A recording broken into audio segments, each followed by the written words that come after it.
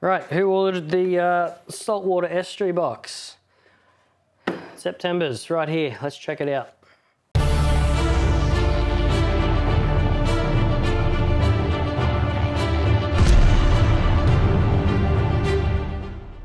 All right, going to start off with the big one in the box. Comes all the way from our friends at Rapala. Now I have here the Rapala Trolls-To 20 or TTM 20 which is a fantastic uh, trolling lure that you can use through estuaries. Here it's going to be used for big, big flathead, barramundi, mangrove jacks, but you can also cast and retrieve, so don't let the name put you off of that one. If you're going to be casting and retrieving, obviously aim for the nearest structure. I'd probably give it a good rip down, let it pause and slow float back up before jumping into your retrieve. If you're going to troll this, uh, yeah, well, it's pretty easy. You cast it out, you start the motor and off you go. But you want to look for water that's going to be at least three meters deep. That's about 10 feet.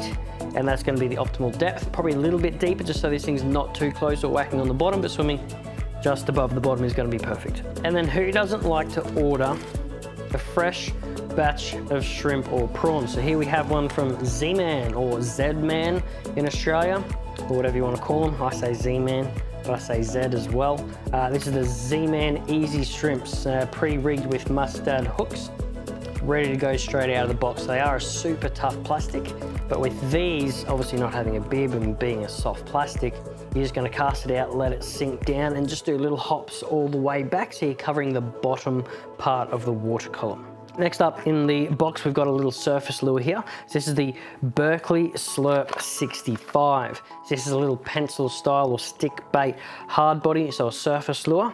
And what you do is you, you cast it out after you've cast it out. It's a bit hard to fish without casting.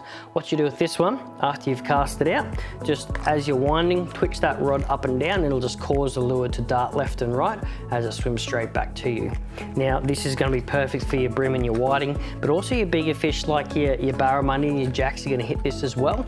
Or if there's a lot of trev speeding about in the estuaries that you're fishing, gonna be a perfect choice for that too.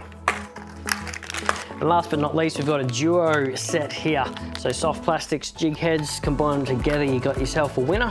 This is from our friends at Pontoon 21, the Homunculus Jilt, which is a little grub style curly tail soft plastic.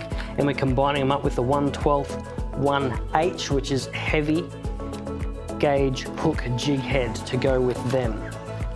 So with these, you're gonna get a nice slow sink after you make the cast. It's gonna be great next to pontoons or, or some submerged structure up the back of the estuaries where you might have some more timber as well. Uh, plenty of options to fish with these in. I like to fish light, which is a fantastic way to fish your jigs. And if you're fishing light, make it, try and make a cast up current and let that current swim the lure back for you. And that's it for the saltwater estuary box this month. If you want to check it out or any of the others in the range, just head to www.tackleclub.com.au, pick a box that's right for you, and welcome to the club.